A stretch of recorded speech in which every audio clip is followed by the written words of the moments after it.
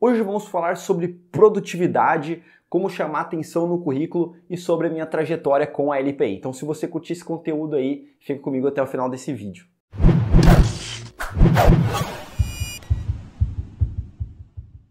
E aí pessoal, sejam todos muito bem-vindos a mais um vídeo aqui do canal.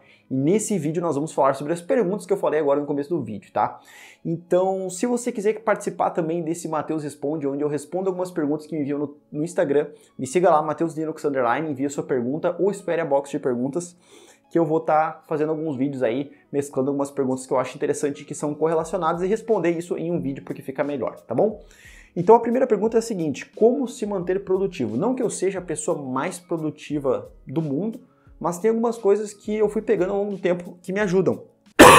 Eita, coronavírus. E que me ajudam ao longo do tempo, como por exemplo utilizar alguma, uh, algum programa de tarefas, como o Trello ou até o Gnome To Do. Basicamente, você escreve as atividades que você tem que fazer no dia, principalmente quando são muitas. O ideal é que você faça todo dia. Dizem, tem alguns, alguns entendidos que dizem que você tem que escrever cinco atividades que você quer fazer no dia, você prioriza entre elas e executa. Não que você tem que executar cinco, mas escrever elas e escrever o que, que você tem que fazer com elas vai te dar mais clareza para você saber priorizar essas tarefas e executar elas ao longo do dia. Então essa seria a primeira dica aí de produtividade. Aí também é preciso ver se você quer atingir alguma coisa específica, como por exemplo, é alguma coisa do trabalho, é alguma coisa para alguma certificação, você quer aprender alguma linguagem, enfim. Você precisa ter um objetivo claro lá na frente para que você consiga trilhar o seu caminho para atingir ele. Isso aqui não é papo de coach, tá? Eu tô falando sério. Então, por exemplo, quando eu estudo para uma certificação, beleza, o meu objetivo tá claro, eu quero ser LPI 3. E aquilo me mantém focado todos os dias, passo a passo, vou subindo degrau por degrau até chegar naquele objetivo. Isso me mantém produtivo justamente porque está claro aonde que eu quero chegar. Se você está fazendo só por fazer, não vai ter como. Você vai se dispersar, você vai olhar o Instagram, vai olhar o WhatsApp e tudo mais. Eu não vejo nenhum problema em fazer isso, desde que você tenha os horários, né? Ah, terminei alguma coisa, vou lá dar uma olhadinha, depois volto a trabalhar de novo. Você tem que ter disciplina. Então, mas para tudo isso, para tudo isso funcionar, você precisa de um objetivo claro. Essa é a principal dica que eu posso te dar. E a segunda pergunta é a seguinte: como chamar atenção no currículo de infraestrutura? Primeiro, parabéns por estar buscando sobre isso e eu vou te dar algumas dicas. Primeiro, tem um blog pessoal onde você produz conteúdo de forma rotineira. Isso vai mostrar para a pessoa que você é proativo, que você escreve, você gosta de compartilhar conhecimento, tá? E quando você colocar o seu blog no seu currículo, lá no seu objetivo, ou resumo, não sei, você coloca isso em forma numérica. Por exemplo, eu, se eu colocasse que eu tenho blog for Fasters, não é tão interessante, mas se eu falar que eu tenho blog for Fasters, que é sobre um assunto X, e eu tenho mais de 200 posts escritos, que eu tenho tantas visualizações mensais, que eu já fui citado no blog X, isso dá muito mais credibilidade porque você está passando dados. Então, informe dados no seu currículo.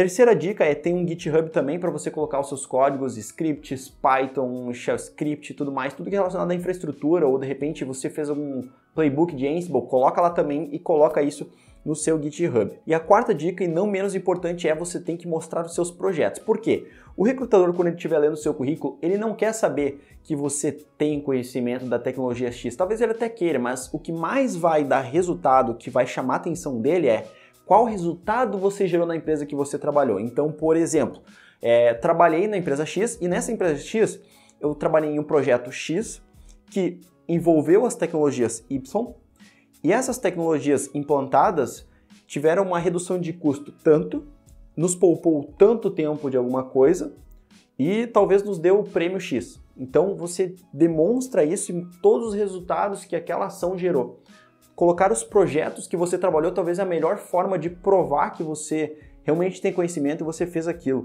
E claro, coloque só o que você sabe que realmente você executou para manter a veracidade dos dados, né?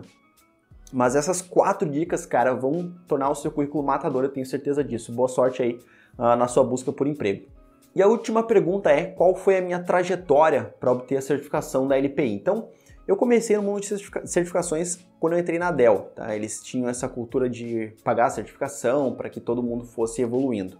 E aí eu fiz a LPI 1, na verdade era como tinha Linux Plus naquele tempo. Inclusive, eu, quando eu fiz a certificação, eu ganhei a como tinha Linux Plus, LPI 1 e SUSE. Fiz isso em 2015.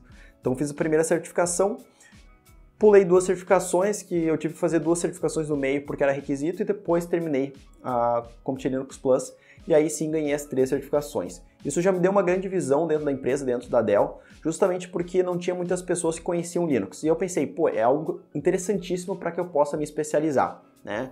E começar a me diferenciar nessa área.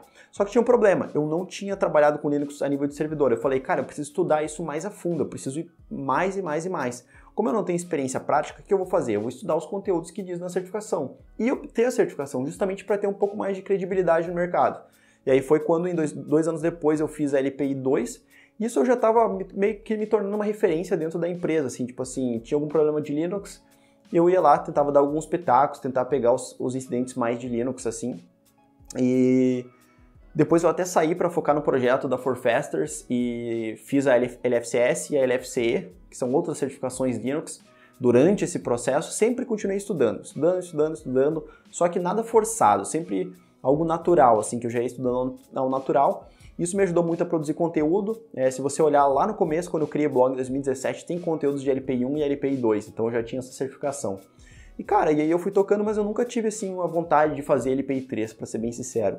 E nos últimos tempos, é, eu comecei a produzir conteúdo mais a fundo aqui no canal, comecei a focar mais. Eu pensei, poxa, por que, que eu não subo mais um nível, já pego o LPI 3 e aí começo a ensinar isso aí mais a fundo para as pessoas, mostrar que realmente é possível chegar nesse nível.